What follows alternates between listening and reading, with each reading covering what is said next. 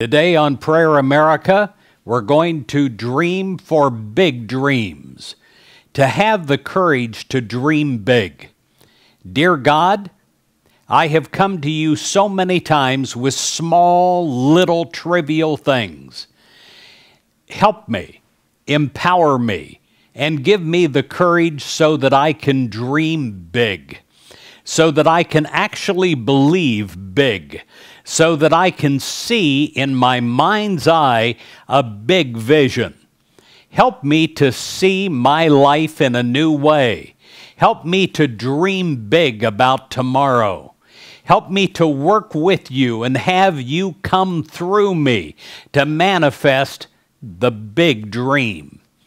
I pray that you will give me a vision of what I can become of who I can be. I pray that in this dream you will help me to see myself in an enlarged way so that I can become all that I could possibly be in this life. I pray, God, for big dreams. I pray that I am able to see them in my mind ahead of time and more important, God, believe totally, even before the dream's manifestation, so that I don't stop it, so that I don't block it, so that I don't hold it or slow it in any way. I pray that I become my dream. I pray that in every aspect of myself that there is nothing inside of me that holds back or blocks the vision that I am holding. I pray that from the top of my head to the bottom of my feet, I'm a walking manifestation of my dream, that other people see it in me and they get excited with me.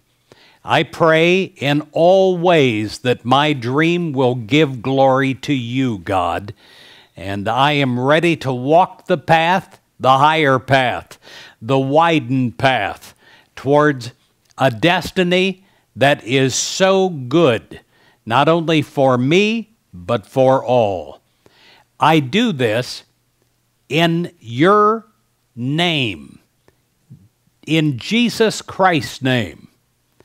I believe and I am walking towards right now my destiny of living the big dream.